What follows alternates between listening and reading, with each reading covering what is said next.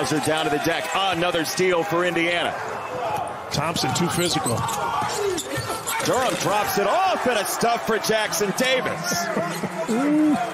Lander is a very talented kid who's going to be very good, but he can't guard me.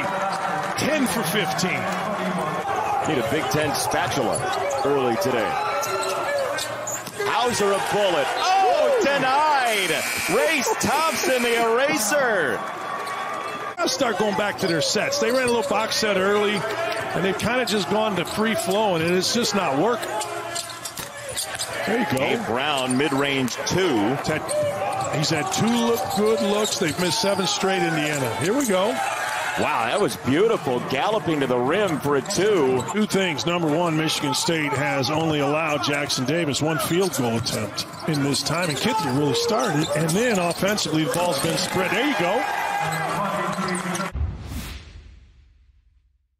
Did none of it in the first half and did none of it there.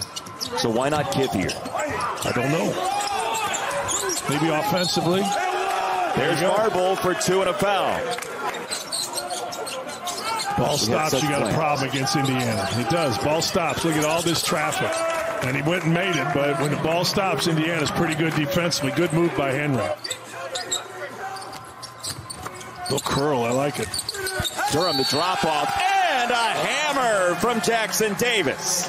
Well, you stuff it into him.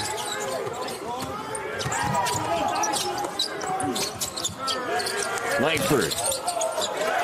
Whoa. Five in a row, a little carnival game for him. They struggled a little bit. Maybe NIT got blown out a game I did, but late really good.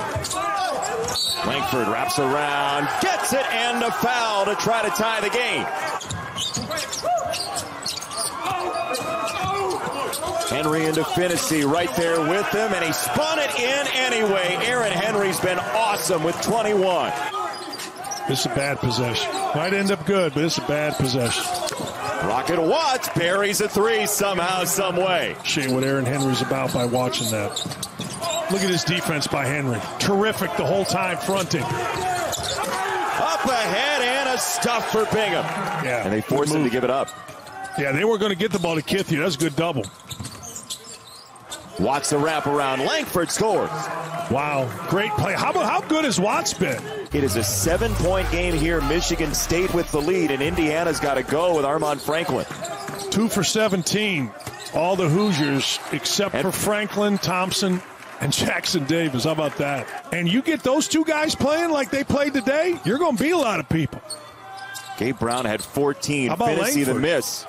And it may have been a Spartan revival on this day in Bloomington, Indiana, 78 71.